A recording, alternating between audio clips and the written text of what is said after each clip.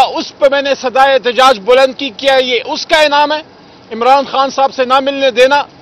या, जो फिर छब्बीसवीं आईनी तरमीम पे सदा एहतजाज बुलंद की, कि लोगों को उठवा के, अगवा करके, उनके बच्चों को उठवा के, गायब करके, लालच दे के, दोस्त दानली से जो आईनी तरमीम पास कर रहे हैं, ये आईनी तरमीम नहीं है, ये आईनी तकसीम है। ये पाकिस्तान के आइन और सुप्रीम कोर्ट पे हमला है। क्या हक बात कहने का ये इनाम है कि सब तो इमरान खान से मिलने जा सकते हैं, लेकिन अली मोहम्मद नहीं जा सकता। अली मोहम्मद ने हमेशा पाकिस्तान की सलामती, इमरान खान साहब, पाकिस्तान तहरीक इंसाफ और मुल्क की बका की बात की है। अगर मैं पार्लियामेंट की सॉवरेंटी की बात करता हूँ, अगर मैं ये कहता हूँ कि लोगों को अगवा करके नहीं, उनसे डायलॉग करके तरामीम पास करें मुतमिन करें पार्लियामेंटेरियंस को इजाज़त दी जाए कि वो अपनी पार्लियामेंट में, अपनी जमीर की आवाज़ पे पार्लियामेंट में कानून साजी कर सकें। तो आज एक बार फिर 11 सितंबर 28 अक्टूबर और 30 अक्टूबर को यह हैट्रिक कर ली है अडयाला जेल के सुपरडेंट साहब ने और उनकी इंतजामिया ने कि मुझे नहीं जाने दिया। मेरा तो सबको पता है, मैं तो आखिरी बॉल तक खेलने वाला खिलाड़ी हूँ। पलटना, झपटना झपट कर पलटना, लहू गर्म रखने का है एक बहाना। परिंदों की दुनिया का दरवेश हूँ मैं कशाही बनाता नहीं आशियाना। अगर किसी को नहीं पता कि अली मोहम्मद कौन है तो जाके 9 अप्रैल की स्पीच देख लो। जब कोई नहीं होता तो अली मोहम्मद खड़ा होता है, अली का काम ही खड़ा होना है। तो आज इंशाल्लाह मेरी पिटिशन इस्लामाबाद हाई कोर्ट में तोहिनी अदालत की मूव हो जाएगी। मैं चाहूँगा कि इस्लामाबाद हाई कोर्ट और चीफ जस्टिस साहब फिर अपनी ताकत बताएँ कि वो अपना हुक्म इंप्लीमेंट कर सकते हैं। मैं तहरीक इंसाफ के चेयरमैन या तहरीक इंसाफ के जनरल सेक्रेटरी का हुक्म लेके नहीं आया था। मैं इस्लामाबाद हाई कोर्ट के चीफ जस्टिस का हुक्म अदालत से लेके आया था।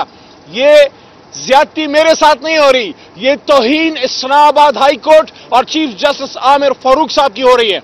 आज पिटिशन मूव होती है और कल अगर लग जाए तो अदालत में फिर चीफ जस्टिस साहब के सामने अपना मुद्दा रखेंगे कि ये आपका ऑर्डर है और ये उसकी हैसियत है। कि अडियाला जेल में बैठे सुपरडेंट साहब और उनका अमला और पता नहीं किसके हुक्म पे, उनकी शायद हो सकता है कि वो मजबूरी हो, फिर आके वो मजबूरी अदालत में बता दें।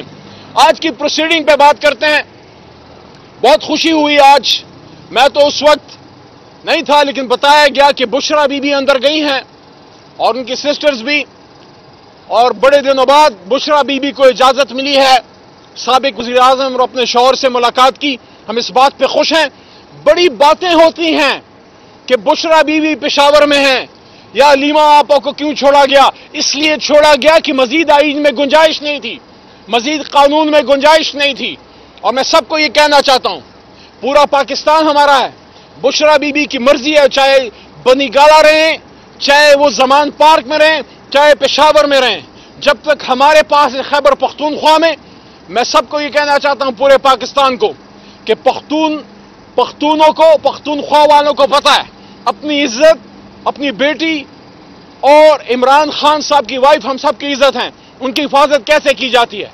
जब तक वहाँ पे इंशाल्लाह अमन में होंगी और जब यहाँ पे आएँगी, पूरा पाकिस्तान की हिफाजत के लिए आएगा।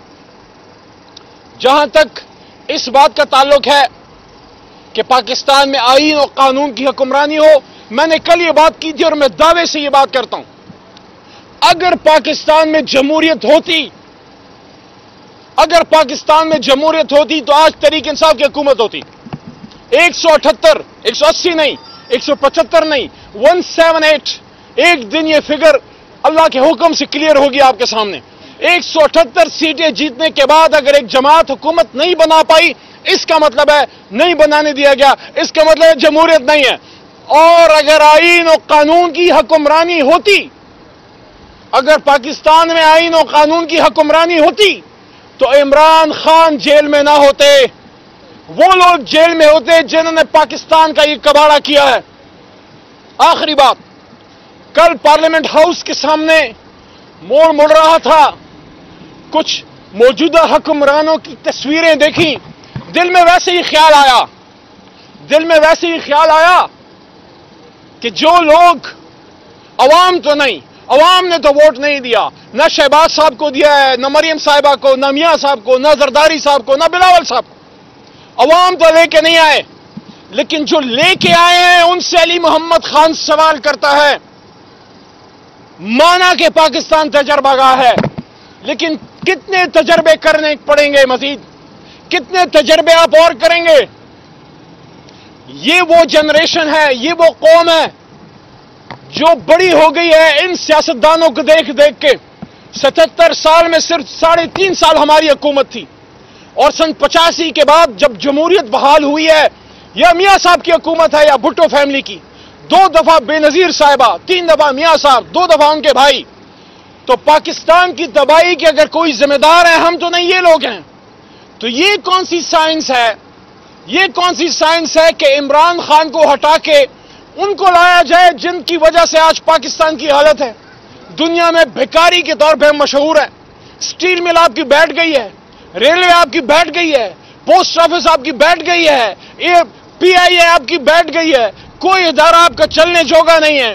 किसी बच्चे को पाकिस्तान में उम्मीद नज़र नहीं आती। और सबसे जो बड़ा नुकसान है, आपने जो कर दिया है, इन डाकुओं को और इन करप्ट अनासर को हुकूमतों में लाके आपने नौजवान की आँखों से उम्मीद छीन ली है।